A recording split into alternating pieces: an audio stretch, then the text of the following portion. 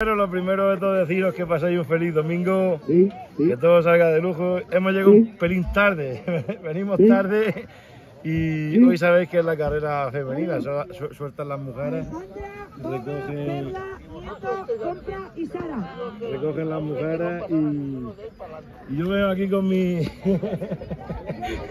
con mi máquina, está calentando su torete y, y ahora soltará, soltará ella.